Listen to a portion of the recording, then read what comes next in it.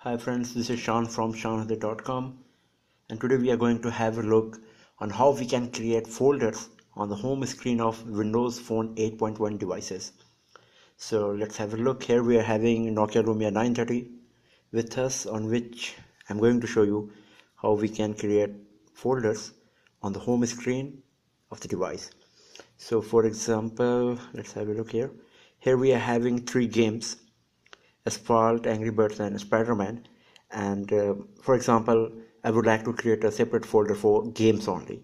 So let's see how we can do this.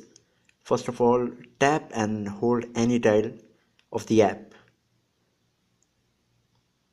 Okay, for example, I'm selecting the Angry Birds and just drag and drop of uh, to any other app or with which you would like uh, Uh, the folder to be created. For example I'm just going to drop it on the asphalt and see here is the folder created.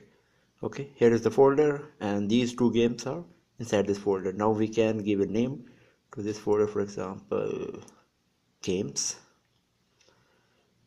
Okay go back. Okay here is the folder. Just go to the home screen. Okay this is the folder games where asphalt and angry birds are placed. So you can just open the folder and start any game right from there.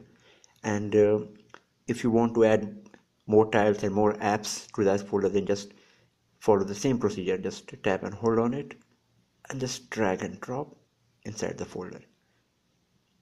Now this folder is having three apps. So and uh, if you would like to remove any of the app from that folder so all you have to do just uh, go to the folder.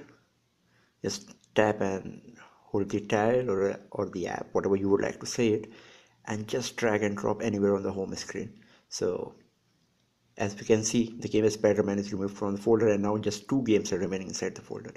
So this is how we will do it and um, that's the method. So that's all for now and uh, keep looking on the channel for more videos and tips like this. And don't forget to subscribe it. Thanks a lot